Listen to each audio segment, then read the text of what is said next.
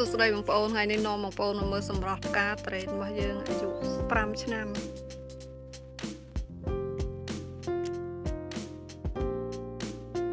រីកស្អាតបងប្អូនទៅតែម៉ោង5ទេប៉ុន្តែវារីកបានប៉ុណ្្នឹងគ្រាន់ថាវាអត់ទាន់រីក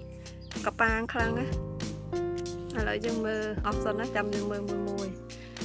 នេះអើដល់បងប្អូនអើយ រីកមិនតាន់អស់ទេព្រោះថាវារីកតែអាតង់ទី1ទេតង់ទី1ហ្នឹងប្រហែលជា40ទៅ50%នៃផ្កាវាកំពុងតែរីកអពេលអញ្ចឹងប៉ុន្តែគ្រាន់ថាវាស្អាតដល់ពេលអញ្ចឹងចង់ថតជូនបងប្អូនទស្សនាទៅតែម៉ោង5ទេតែវាចាប់ដើមរីកហើយខុសគ្នាតាមនេះហ៎បងប្អូនតាមទឹកដែលវាដែលយើងបានស្រោចត្រេនហ្នឹងដូចត្រេនម្ដងហ្នឹងដោយសារវាការវាមានពីរតង់ ការមានមានពីរតង់ដល់ពេលអញ្ចឹងខាងខ្ញុំអត់ប្រអត់ទឹកទេដោយសារតង់ទី2របស់វានឹងកំពុងត្រូវការទឹកខាងខ្ញុំស្រោចទឹកធម្មតាដល់ពេលអញ្ចឹងការរីករបស់វានឹងរៀងលឿនណាព្រោះម៉ោង5ព្រាមវារីកប៉ុណ្ណឹងណាបងប្អូនបើសិនជាយើងប្រអត់ទឹកម៉ោង5ដាក់តនចេញប៉ុណ្ណឹងនៅចេញកំពុងលើការកលាប់នៅឡើយតតមក8មក7កន្លះមក8បានវារីក អានោះបានថាយើងប្រអប់ទឹកឲ្យវាជ្រាបនៅខ្សោះទឹកដើម្បីកុំឲ្យវាជ្រុះផ្កាប៉ុន្តែតរេនម្ដងនេះយើងក៏អាចប្រអប់ទឹកបានទេព្រោះថាផ្កាវាមានពីរតង់ហើយតង់ទី1តង់ទី2របស់វានឹងកំពុងឲ្យត្រូវការទឹកខ្លាំងនេះតង់នេះអញ្ចឹងយើងស្រោចតាមធម្មតាយើងស្រោចផ្អែកទៅលើតង់ទី2របស់វាហ្នឹង ស្រោចឲ្យទឹកច្រើនជាធម្មតាដល់ពេលអញ្ចឹងការរីករបស់ផ្ការបស់វានៅលើដើមបតង់ទី1ហ្នឹងគឺវារីកលឿនណាបងប្អូនតែសម្រាប់តរេនដែលខ្ញុំថាមកអាយុ9ឆ្នាំហ្នឹងណាវារៀងខ្សោះទឹកដោយសារយើងប្រអប់ទឹកវាកុំឲ្យវាជ្រុះផ្កាដល់ពេលអញ្ចឹងម៉ោង7 8ហើយបានវារីក ម៉ងថ្មហ្នឹងឯងនៅកំពុំកំពុំដូចកំពុំដូចកំពុំផ្កាក្លាប់នៅឡើយទេហើយពីម្សិលមិញវាខ្សោះទឹកខ្លាំងមែនតើដល់ពេលអញ្ចឹងវាអត់រីងខ្សោះទឹកខ្លាំងដល់ថ្នាក់អត់រីងទេបងប្អូនដោយសារអត់តន់ដល់ពេលដែលខាងខ្ញុំត្រូវស្រោចទឹកហ៎ដល់ពេលអញ្ចឹងឃើញអញ្ចឹងទៅបានស្រោចទឹកឲ្យមុនមុនពេលវេលាតែឥឡូវយើងមើលផ្កាត្រេនស្អាតស្អាតជាមួយគ្នាណា ដើមនេះអាយុ5ឆ្នាំនេះតែផ្ការបស់វាស្អាតណាហើយរីកស្អាតអញ្ចឹងបានខ្ញុំចង់ថតជូនបងប្អូនទស្សនារីកមិនសូវច្រើនប្រហែលនេះមិនតាគាត់ថាដល់វគ្គចកោមចកោមអញ្ចឹងមើលទៅស្អាតដល់បងប្អូនហើយវារីកថ្មហ្នឹងស្រួលថតទៀតមើលចកោមមិនសូវច្រើនប្រហែលទេអានេះវារីកហើយហើយ រីកបាន2ដងនេះជាកោមនេះនៅសល់ប៉ុណ្្នឹងតាថ្មីឥឡូវទៅឡើងចាប់ផ្ដើមរីកបន្តទៀតអានេះដែរនៅគ្នាចឹងដែរបងប្អូននេះរីកបាន2ដងអាដែរបងប្អូនអាតាតរេនេះលឿងលឿងចឹងណាបើសស្លេកហ្មងអាហ្នឹងអត់សូវមានកម្លាំងទេប៉ុន្តែអានេះលឿងលឿងលឿងលឿង បាច់លឿងអញ្ចឹងបានមានកម្លាំងណាបងប្អូននោះខាងលើអត់ដល់បងប្អូនអើយអត់ហ្មងការត្រេនយើងមើលទៅយើងមានអារម្មណ៍ល្អស្អាតមិនត្រឹមតែស្អាតអញ្ចឹងឯងក៏អូបទៀតយើងឈរក្រោមដើមរបស់វាហ្នឹងណាក៏អូបក្លិនទឹកអំពៅហើយក៏អូបក្លិនឈ្ងុយផ្កាបងប្អូនឈ្ងុយផ្អែមដូចរសជាតិរបស់ត្រេនអញ្ចឹងណា បន្លែនេះកាន់តែស្អាតទៀតនេះ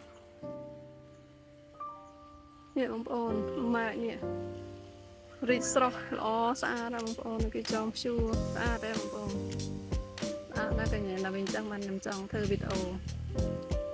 ជូនបងប្អូនទស្សនា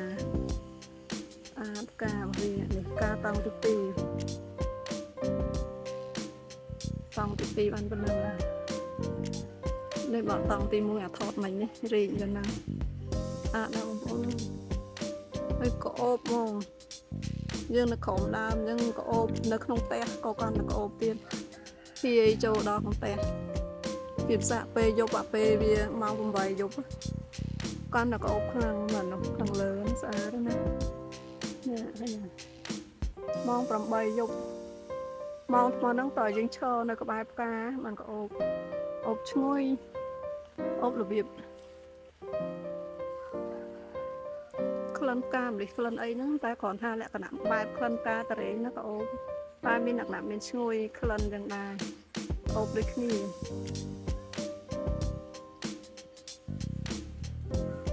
នេះយើងមកមើលម្ដាមទៀតបងប្អូនកំពុងតែរីកស្អាតដែរផ្កាតរេងរីកស្អាតណាបងប្អូនអើយ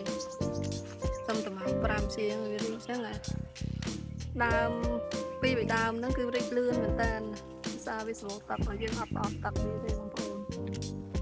ពេលអញ្ចឹងវារីកលឿនណាស្អាតដែរបងប្អូនតែឡើងមេឃហាក់ដូចជាចង់ភ្លៀងមកទេមានពពកដុំដុំមកទេការត្រេននៅពេលដែលកំពុងតារីចឹងហើយមានភ្លៀងហានិភ័យខ្ពស់វាជ្រុះអស់ហ្មងបងប្អូនអើយពេលអញ្ចឹងអ្នកដាំត្រេនខ្លាចកំពុងរីករីកផ្កាហ្នឹងភ្លៀងមកឧបជាកតអាកាសធាតុនៅថៃហ៎ អាមានព្យុះថ្ងៃទី21ដល់29ឥឡូវថ្ងៃទី24ណា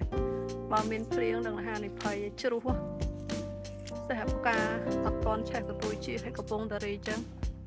ជ្រុះតែម្ដងពីព្រោះពេលយើងស្រោចទឹកយើងអត់ទាំងហ៊ានឲ្យប៉ះផង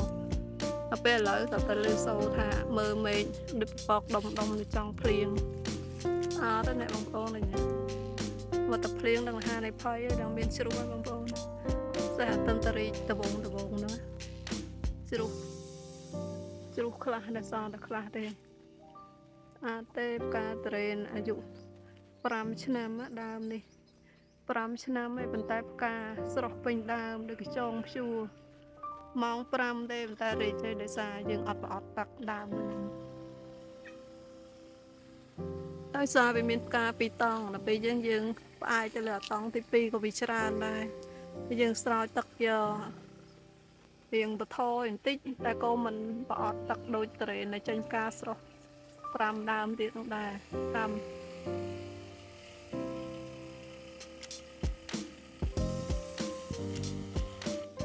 សម្រាប់ដើមនេះវិញអាយុ5ឆ្នាំដោយសារយើងដាក់ទឹកវាគ្រប់គ្រាន់ណាយើងអត់បន្ថយទឹកទេបងប្អូនអើយដោយសារវាមានចំនួនទី2ច្រើនដល់ពេលអញ្ចឹង វារីស្អាតណាទំតែម៉ោង5សារីតែនេះយើងរីកមានតែខ្លះមានរីកមិនតាន់អស់មានខ្លះរីកអស់អញ្ចឹងតែទៅយ៉ាងណាក៏យើងអត់តាន់អាចធ្វើការបោះបោះផ្កាបានដែរស្មានហ្នឹងតតែម៉ោង8មកហ្នឹងបើយើងប៉ះវាក៏វាអត់មានទឹកវាហៅទឹកដមផ្កាបងប្អូនអានោះបែរក៏ជាកតាមួយនៅក្នុងការនេះដែរ នៅក្នុងការបង្កាត់លំអងដែរវាអត់មានទឹកដមផ្កាងទេប៉ុន្តែបើសិនជាយើងបោះក្នុងម៉ោង8វាមានទឹកដមនឹងធ្លាក់មកហ្មងអានេះអត់មានទៅយើងប៉ះក៏អត់មានដែរតែគ្រាន់ខ្ញុំចង់ថតថាវារីកស្អាតជូនបងប្អូនទស្សនានេះនេះស្អាតណាស់ផ្កាតរេនតំតម៉ោង5សោះហ្នឹងដោយសារវាសម្បូរទឹកហ៎បើសិនយើងប្រអប់ទឹកណា ម៉ោង7កន្លះម៉ោង8បានវាចាប់ផ្ដើមរីកអានេះរីកបានតែចំនួនទី2ទេនេះចំនួនទី1ការចំនួនទី1អានេះរីកមិនដល់អស់ទេអានេះរីករៀងអស់ហើយនេះការចំនួនទី1ទេបងប្អូននេះអានេះលាយឡំគ្នាទី1ទី2ការវាស្អាតណា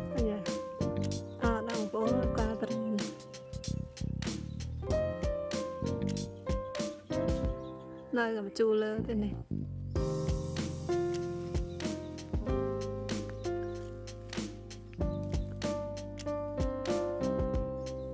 នอนលើទេណាបងប្អូនពងរីតែបន្តិចស្ទើខាងលើនេះរីតែមិនចកោមែនគាត់ថាចង់ឃើញវារីថតជូនបងប្អូនទស្សនាអញ្ចឹងការនេះវារីអត់ស្រស់ឲ្យដើមអញ្ចឹងរីប៉ុណ្ណឹងអស់ នេះបងប្អូនវាធម្មតាពេលវាខ្សោះទឹកខ្លាំងណា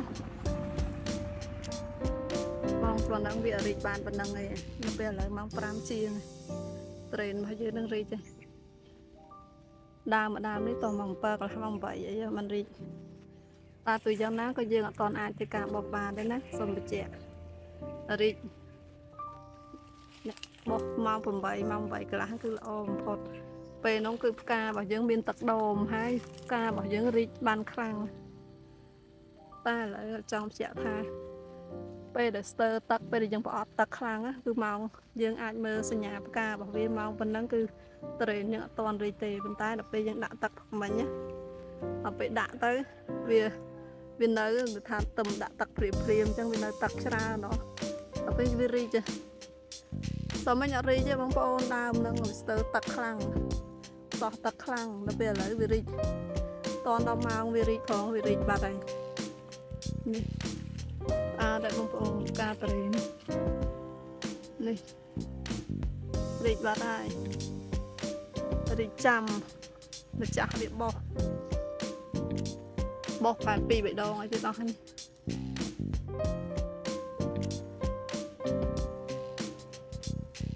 រីកចាំម្ចាស់បោះយប់នេះ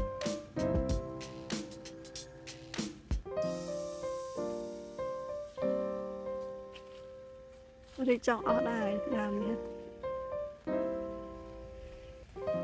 គាត់ចង់បញ្ជាក់ថាឲ្យតែមានទឹកច្រើនគឺវារីកឆាប់រីកចឹងហ្នឹងនៅខាងលើខាងលើនេះទៀតអរគុណច្រើនបងប្អូនសម្រាប់ការទស្សនាយើងជួបគ្នានៅវីដេអូក្រោយជាបន្តទៀត